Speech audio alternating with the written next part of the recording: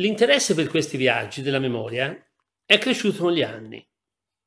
La prima volta che ho fatto questo viaggio è stato quasi per caso, anche se era qualcosa che doveva succedere per il semplice motivo che era un interesse che ho sempre avuto.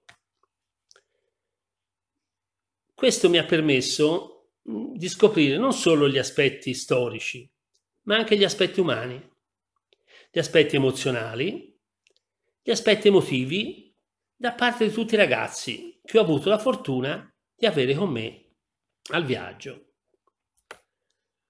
Abbiamo visto che i ragazzi reagiscono ognuno a modo loro, in maniera diversa, ma alla fine quello che viene fuori sono sempre, sono sempre le emozioni. Le emozioni che lasciano spazio a un interesse, un interesse profondo da parte loro su, tu, su tutto quello che è successo. Oltre che, che, oltre che viaggi della memoria, li chiamerei anche viaggi della conoscenza.